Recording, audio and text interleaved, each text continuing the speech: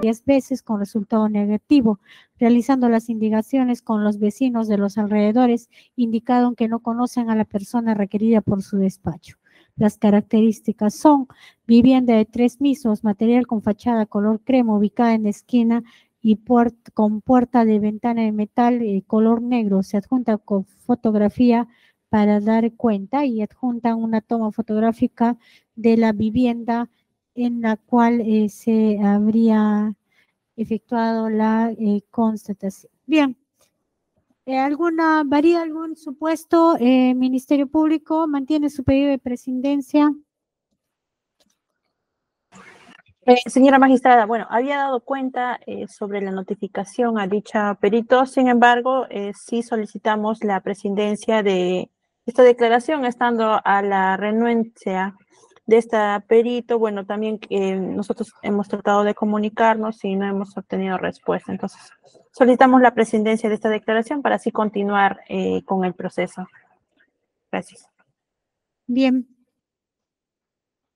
es la resolución número 54, doctores vistos y oídos. Un momento, por favor. Bien, doctores, vamos a dar cuenta de la resolución.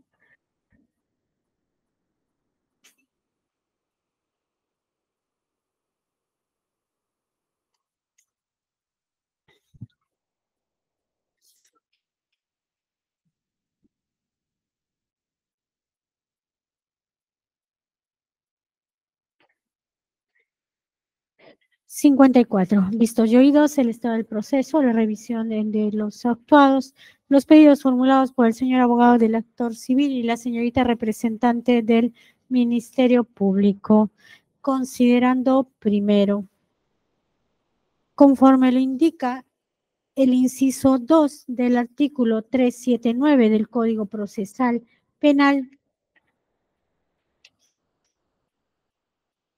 Si el testigo perito no puede ser localizado para su conducción compulsiva, el juicio continuará con prescindencia de esa prueba.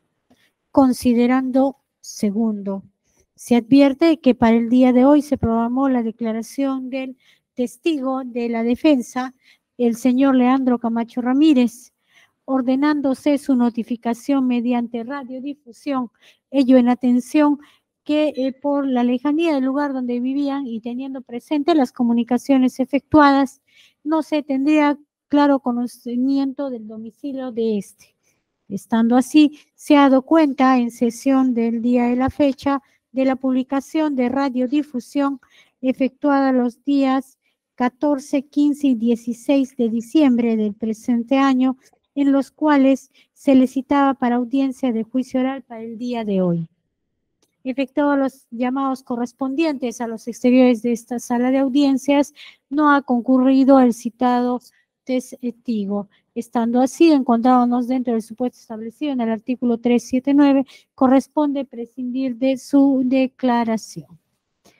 Considerando tercero, mención aparte, merece la notificación o la orden de conducción compulsiva efectuada a la eh, señora Perito Sheila Helen Castañaga Barreto y en atención que no solo se ordenó una notificación y una conducción a su domicilio laboral, sino que también se ordenó una conducción compulsiva a su domicilio real, tal como se tiene de su ficha RENIEC.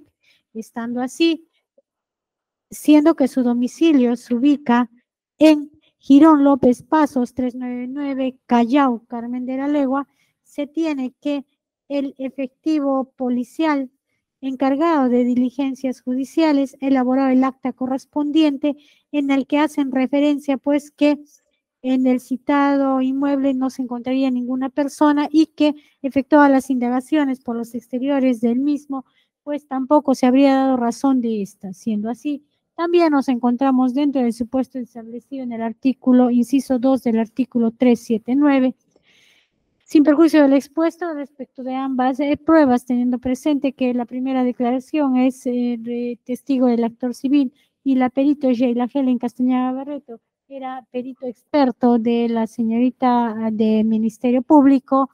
Bajo el principio de comunidad de la prueba se advierte que ninguno de los señores miembros eh, participantes de la presente audiencia efectuado oposición, sumando a ello que estamos dentro del supuesto establecido en el artículo 379, por lo que corresponde prescindir de las declaraciones del testigo y de la perito, por lo que se resuelve prescindir de la declaración del el testigo Leandro Camacho Ramírez y de la perito Sheila Helen Castañaba Barreto, sin perjuicio de aplicar lo dispuesto en el artículo 383 del Código Procesal Penal en su inciso y literal correspondiente de la resolución emitida al Ministerio Público. Conforme, señora magistrada. Actor civil. Conforme, señora jueza. Doctor Lisandro. Conforme, señora. Bien, eh, doctor Fernando Ángeles. Conforme, doctora. Doctora Stephanie. Conforme, doctora.